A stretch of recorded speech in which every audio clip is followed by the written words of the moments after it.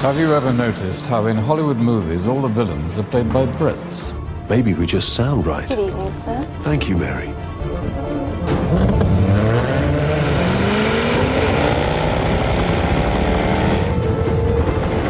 We're more focused, more precise. We're always one step ahead. With a certain style, an eye for detail. And we're obsessed by power.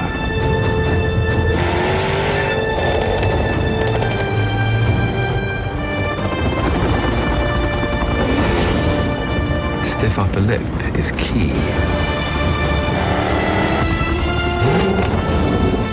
And we all drive Jaguars.